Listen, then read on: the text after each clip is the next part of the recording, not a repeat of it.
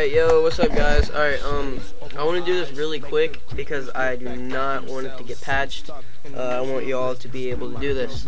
And it's been going for a day, so, um, yeah, y'all should really do this really fast.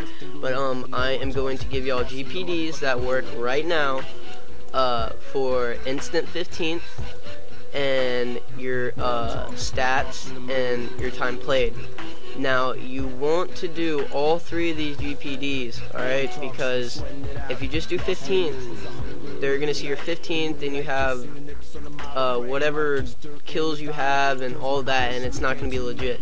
So all these right here are all legit. Uh, time played is 17 days.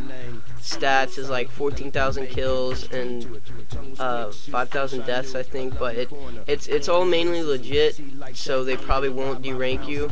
So you need to use all three of these. And what I suggest you do is the 15th one first, stats second, player uh, time played third. All right. So those are the ones that you need to go in a row with. And um, thanks to Finisher, I'll put his channel in the description for telling me about this because um, I was I got online uh, with my Swirl account and I, I think I'm banned for the service for Black Ops, so I had to make another one. And right when I got on, he sent me a message saying uh, there's GPDs out for 15th and stuff.